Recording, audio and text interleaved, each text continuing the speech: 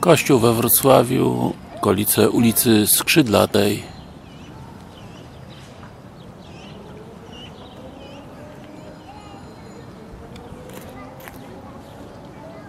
Rzeźba papieża Jana Pawła II. Wejście do kościoła. Jest niedziela 14 kwietnia 2013 roku. Widać osoby udające się na mszę świętą.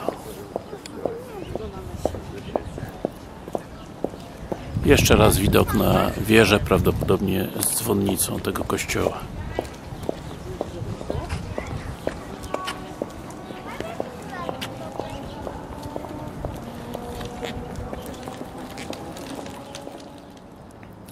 Jeszcze raz widok na kościół przy ulicy Skrzydlatej we Wrocławiu, osiedle chyba Gondów. Bardzo ciekawa budowla, dachówka, cegła lub przynajmniej płytki klinkierowe.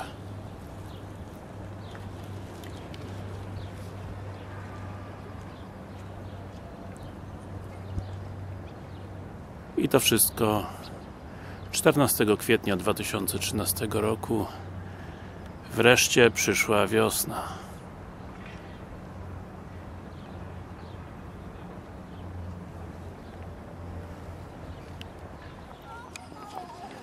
Jeszcze raz widok na kościół na osiedlu Gondów we Wrocławiu. Widzimy wiernych idących na mszę świętą. Pomnik Jana Pawła II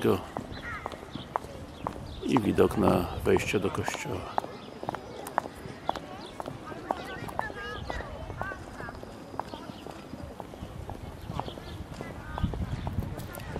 Tam na górze prawdopodobnie jest dzwonnica.